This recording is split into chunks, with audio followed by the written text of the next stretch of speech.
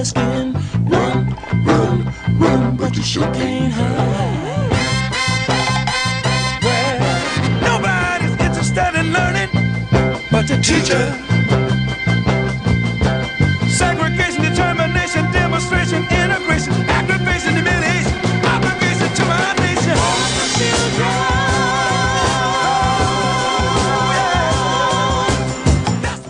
Good morning and welcome to Wants to Know. The election results from the primary have been certified, and this is the first of our interviews with the two contenders for the general election. Ladies and gentlemen, for equal time, each candidate will have 11 minutes roughly to uh, discuss their platform. We're talking about the neighborhoods this week, and my first up is Sheriff Benny Napoleon. Sheriff? Steve, how are you? Man, I'm great. but before we get in the neighborhoods, right. okay, you had um, a little bit of a beating in the primary. Well, I don't consider it that way because you got to look at it. You had 20 people in the race, Uh-huh. and you know one guy, you know, he went and got what he can get, Mm-hmm. but the whole but there's a whole lot left out there. So you know, it wasn't the beating that folks are. I understand the numbers, so we're fine. You're fine. So Um, you're saying you're in it to win it, and you got a fight going on. No, I'm gonna win it. When I'm mayor of the city of Detroit, we'll have this conversation. But I'm absolutely gonna win the race. Okay. Now, beyond that, Okay. tell me about your plan for the neighborhoods. That's the biggest issue in Detroit right now because of the fact our neighborhoods are dying. People see downtown thriving. Right. All right, we've got crime, we've got abandoned houses, all sorts of crap. One of the things that I understand, Steve, is that we have to focus on that. We had a succession of mayors who focused on downtown. Coleman focused on getting the Renaissance Center built. Dennis focused on getting Comerica Park and Ford Field built. Uh, Kwame Kilpatrick uh, had the three uh, permanent hotels for the casinos built. Dave brought in uh, Quicken Loans and some other folks downtown. We need a mayor now who is going to focus on taking care of the people in the neighborhoods. You're absolutely right. When people talk about the city of Detroit and they talk about the great things that are going on, it's always about what's happening downtown. When they talk about the bad things that are going on, they're all issues that are happening in our neighborhoods. The high crime, the blight, our children not being properly educated, healthcare issues related to uh, poor children and poor seniors it, we've got some challenges here. So we have to get some jobs uh, into the folks who are living in the neighborhood. So that is going to be my focus. I am going to be the first mayor in 50 years who had the neighborhoods as its priority as opposed to the downtown and central business district. We're at Monica and Cortland. Yes. Your mother's house is right here on the corner Yes. this of is Monica where- and Cortland. This is where I grew up. This is where you grow up. Yep. All right. Give me your plan to save Monica and Cortland.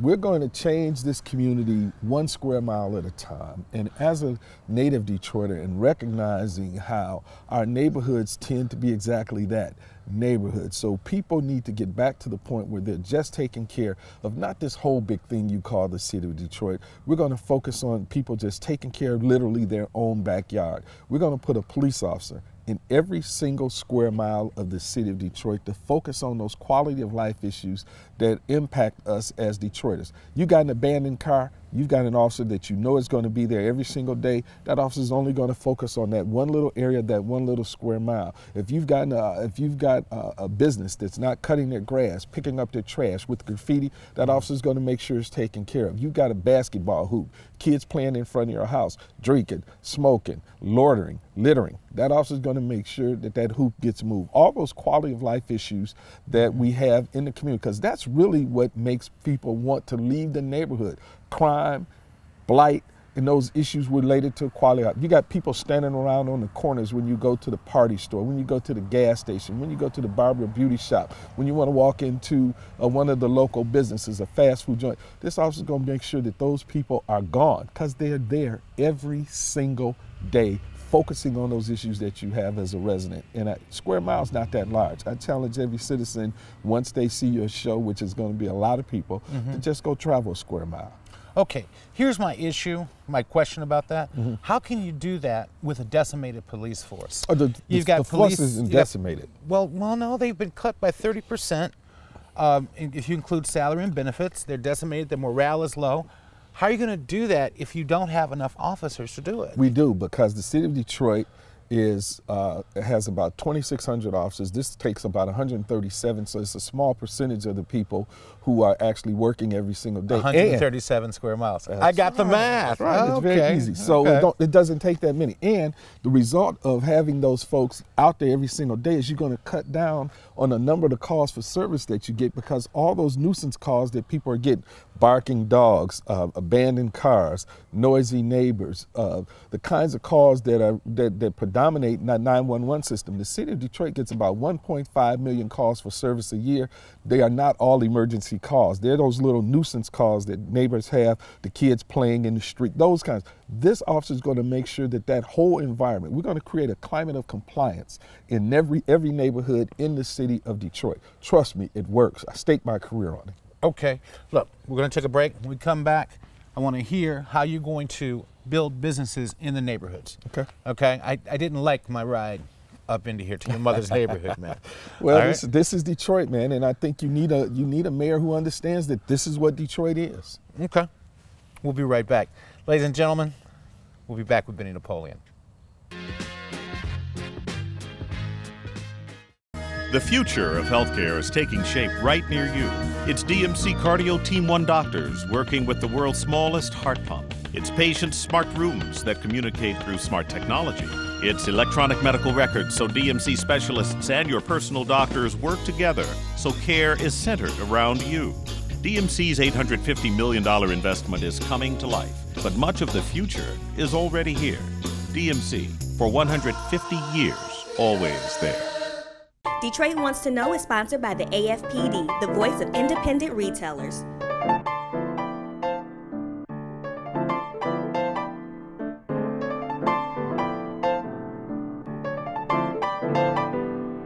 No one ever thinks that a serious injury can happen to them, but it can and it does.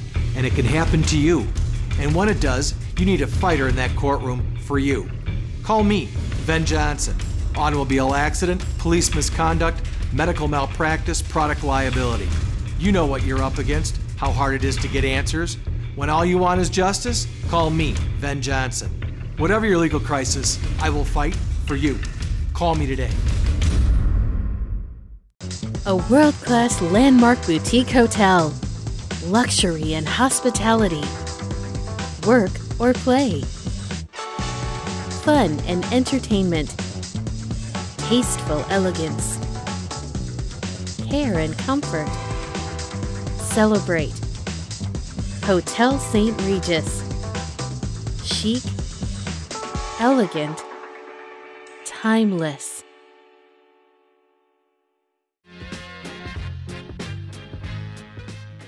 Welcome back to Detroit Wants to Know. This is the second part of our interview with Benny Napoleon on the neighborhoods, his plan for them. Sheriff? Yes soon to be mayor, so so you say. Yeah, when I'm mayor. when you're mayor. How are you going to bring business back in the neighborhoods? I drove through Fullerton between Holmur and Petoskey, which is where I live, down onto Dexter. Okay, I did it the other day, and I was mollified by what happened to the Dexter I knew when I was a little child. And that's the point, Steve. We need, we have had, as I told you, a succession of leadership who is focused on downtown. We need to make sure that we make our neighborhoods livable, walkable, and sustainable. We have to stop the exodus of people from our community. And when you talk to people about why they're leaving, they're leaving for some very straightforward reasons crime, education, jobs, and blight. So until we straighten out those main issues, the crime issue is huge. Mm-hmm. People will not stay in a place where they don't feel safe and where the people that they love don't feel safe. We have to make public safety a number one priority. When you do that, people will stop moving out and people will start moving in because they feel that this is a great place to live. Detroit has the hottest, the second hottest real estate market in the world, right here in Detroit. Mm-hmm. Real estate investors are coming in, buying all of this property in the city of Detroit. We are not desperate, we are not helpless, and we are not hopeless. People recognize that there's a great energy going on in the city of Detroit. And I'm asking Detroiters to hold on because other people around the world know it. We need to know it. We need to realize it. How do we do it? We go into the neighborhoods and we create an economic hemisphere in each one of what is now the new council districts, we're going to make sure that we create an economic hemisphere. hemisphere. Absolutely. Okay. Never heard that one before. Go ahead. That's, that's my Harvard training.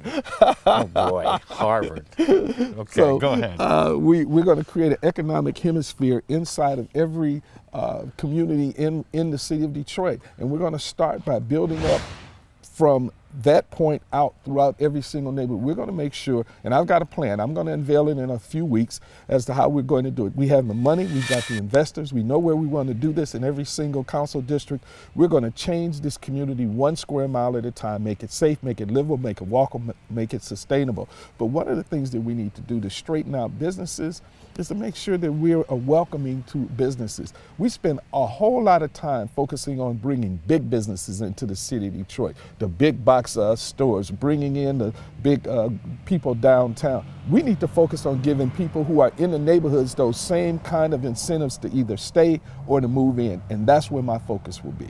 Okay.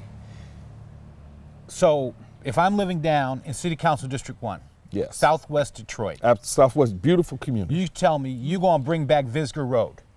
Oh, absolutely. You're going to bring back because Visger Road. First thing rough. is, I know where Visger Road is.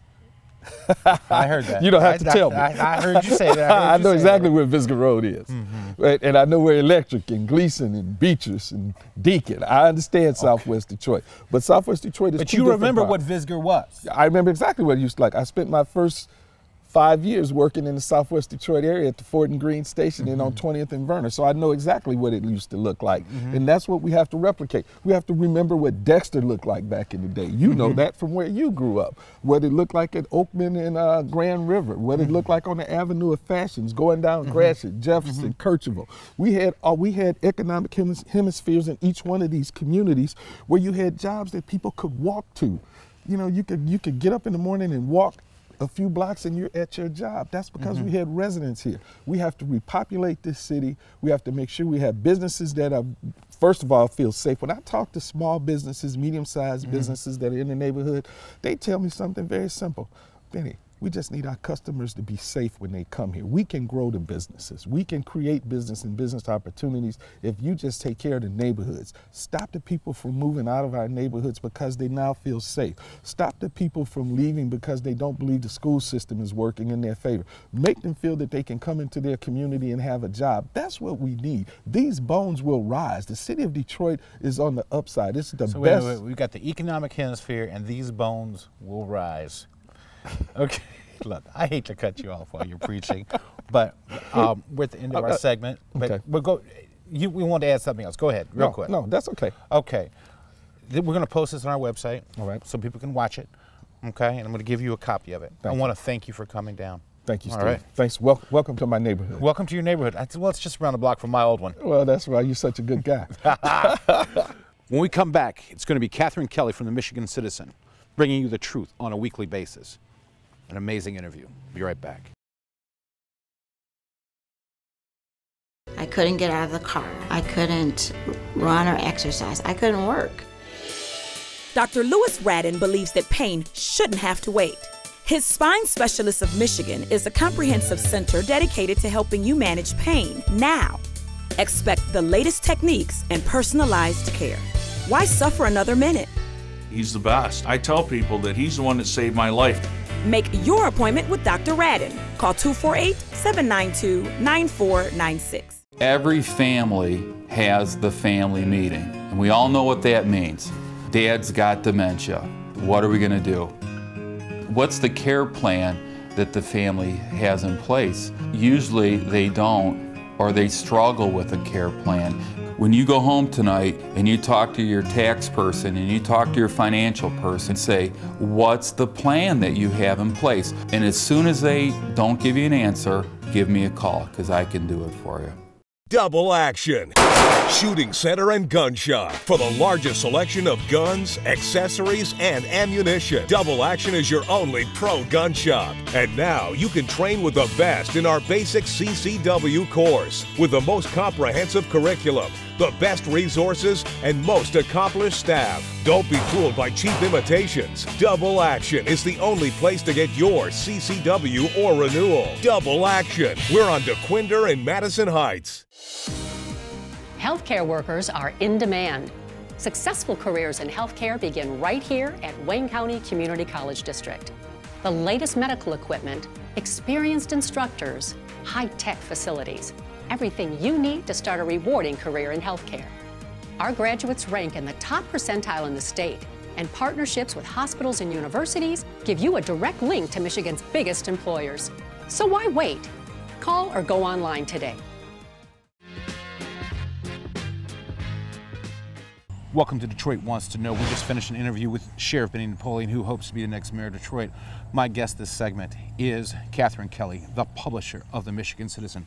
Katherine, welcome to Monica and Cortland, okay, on the west side. Thank you. I just got to ask you people felt that the coverage in the primary election was slanted towards one of the candidates, the media Mm-hmm. coverage. Is the Michigan Citizen going to play it straight down the line? Uh, the Michigan Citizen always plays it straight down the line, and I think it's especially important for this election um, with the emergency manager ultimately in power for the next year um, for us to play it really straight. We always believe getting good information to people helps um, helps make um, helps people make good decisions. Now, you've been in business 20 years?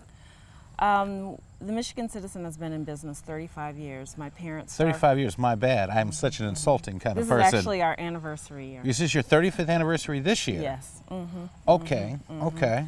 Um, it's our, you know, the whole years or whatever. But um, my parents started the um, paper on our dining room table in Benton Harbor in 19, um, what would that be, 78. Mhm. and um, moved to Detroit in 1986. My father passed away in 2006, and I took over as publisher um, when he passed away. Okay.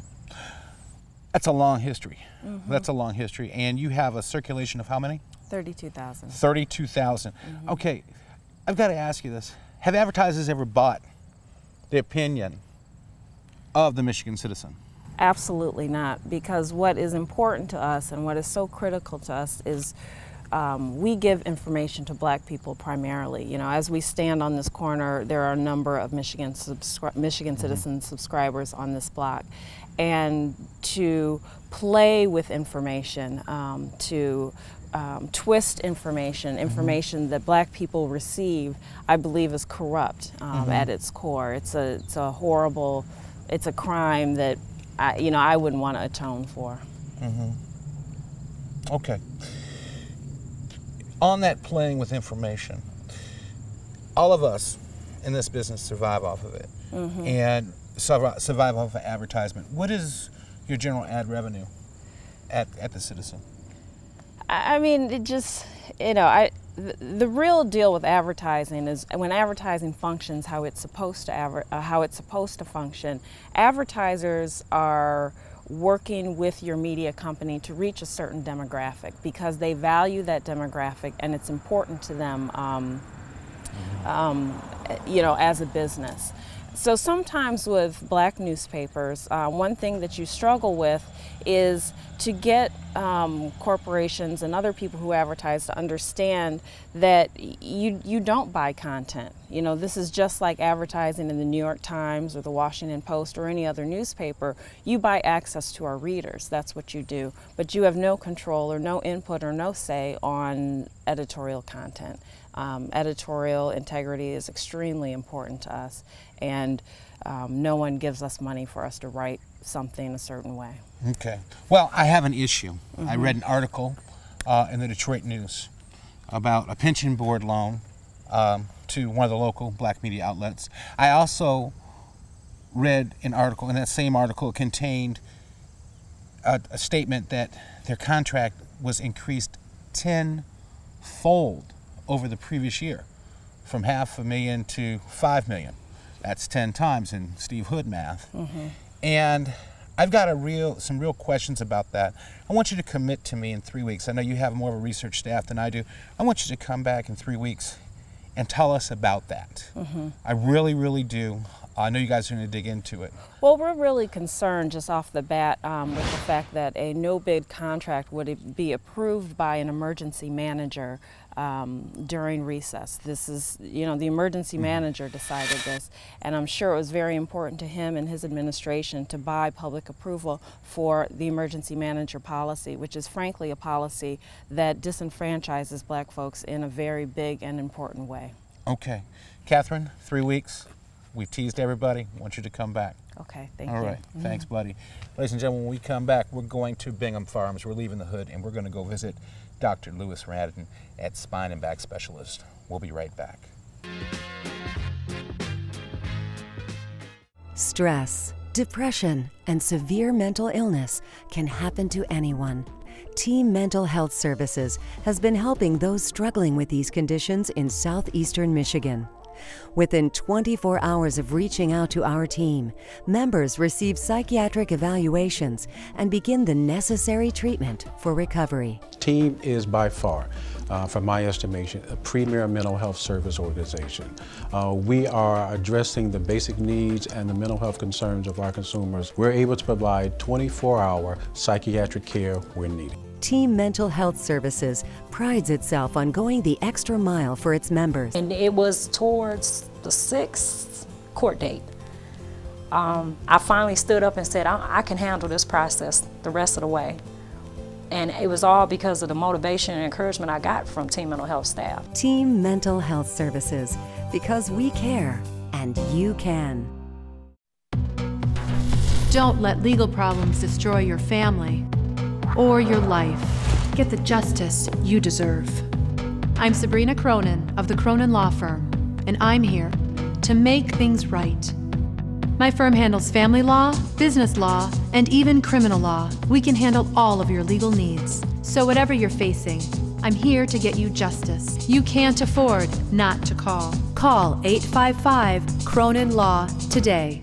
Going from hourly to salary seemed like a good career move, but now you're working 60 hours a week instead of 40, and you aren't getting paid any of that extra time. You're stuck, right? Wrong. You can be on salary and still be entitled to overtime. If you've been wrongly denied such pay, you may be entitled to that and more. Gold Star Law is here to help you through your employment law problem, whatever it is. Gold Star Law, protecting employees' rights. Call 1 800 Wages 10 for a free consultation today. Mike's Fresh Market, Detroit's largest independent supermarket with the best prices, quality, and service. Enjoy our vast selection of fresh fruits and vegetables. Wide aisles lead you to our own in house bakery and deli beef, pork, chicken, seafood, and much more. You can rest assured you will feed your family the freshest food in town. Whatever you need, you can find it here at Mike's Fresh Market. Mike's Fresh Market with two locations Gratiot and 7 Mile and Livernois and 7 Mile. Better food, better prices. That's Mike's promise. I couldn't get out of the car. I couldn't run or exercise. I couldn't work. Dr. Louis Radden believes that pain shouldn't have to wait. His Spine Specialist of Michigan is a comprehensive center dedicated to helping you manage pain now. Expect the latest techniques and personalized care. Why suffer another minute? He's the best. I tell people that he's the one that saved my life. Make your appointment with Dr. Radden. Call 248 792 9496.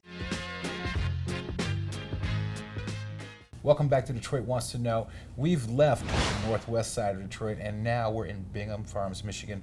We're at Spine Specialists of Michigan. Many of you may have worked out this summer. You may have been weekend warriors. You may have been doing honeydews around the house and you find that you have back or leg pain. This is our sponsor, Dr. Louis Radden of the Spine Specialist of Michigan to tell you how to take care of that back pain.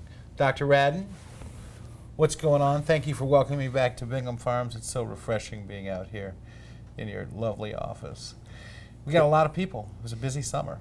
That's right. Okay, and a lot of people are hurting their back. That's right. So what do we do about it? Well, first of all, uh, for um, yeah, patients who have injured their back, if they're complaining of back pain or leg pain, uh, first and foremost, they need to uh, schedule an appointment to see uh, Dr. Braden at Spine Specialists of Michigan. We have a comprehensive spine institute. Uh, we have rehabilitation services to rehab your back, particularly with patients with uh, any type of back strain or sprain. Um, for patients who develop back pain as well as low uh, radi radiating pain into the leg. Um, we also have pain management services uh, where we perform epidural steroid injections to block that pain that radiates down the leg.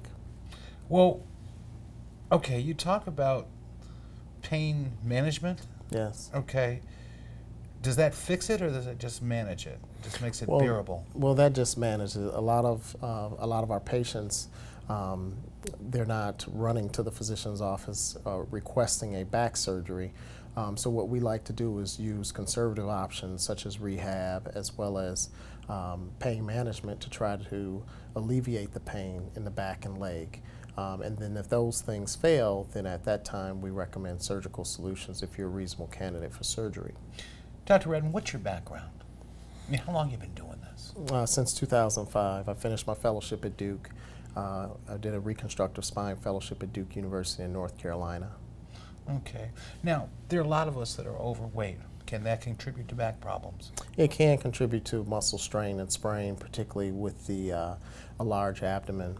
Uh, so what we like to see is that you try to strengthen the back muscles, try to decrease the uh, the size of the abdomen, and strengthen the the muscles in the abdomen. Okay. How can we prevent back pain other than strengthening our back? I mean, how, what can we do? Do we lift with our knees? What do we do? Well, you can lift with your knees. You can use back braces. Um, you can uh, limit the, the amount of weight that you try to lift. Um, there's different tools, dollies, and things you can use to um, try to eliminate exacerbating or aggravating the back muscles. Okay. Doctor, you're located in Bingham Farms. Give us that address and the phone number here so people can make an appointment. It's 32270 Telegraph Road, Suite 110, Bingham Farms, Michigan 48025. The telephone number is 248 792 9496, or you can visit our website at www.spinemi.com. With the Affordable Care Act happening, should people wait uh, to come see you, or what should they do? Should they just put it off until all this stuff is settled out? Well, first and foremost, as spine specialists, we don't want any of our patients waiting while they're in pain. So whether there's the Affordable Care Act coming uh, in 2014, um, we still would encourage you to make schedule an appointment and see us and uh, undergo an evaluation. Do you accept all major insurances? Yes, we do. Okay, Medicaid, Medicare, and all that stuff? Yes. All right. Next question. Just before I, before I leave here, what are the hours of the clinic here? Because you do surgery on site here also, some of them. Correct. Okay. What are your hours here? Usually we start at around 7, 7.30 in the morning and we, we finish um, when we've seen the last patient. So somebody could actually come in here before work? Yes. Okay. All right. Well, Dr. Red, thank you for welcoming me back thank to you. Bingham Farms and to Spine Specialists, and thank you very much for being a sponsor. Thank you for having me on your show. Oh, welcome. Ladies and gentlemen, we'll be back next week. We'll have the second of our mayoral uh, neighborhood plan interviews. And next week's show, the second half is really going to shock you after that interview. We interviewed Larry Mongo. It's um, really exciting. Thanks for joining us. You can catch us at stevehooddetroit.com.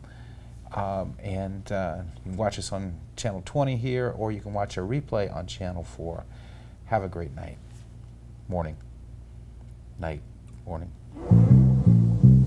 People moving out, people moving in. Why? Because of the color of their skin. Run, run, run, but you sure can't hide. Well, nobody's interested in learning, but the teacher.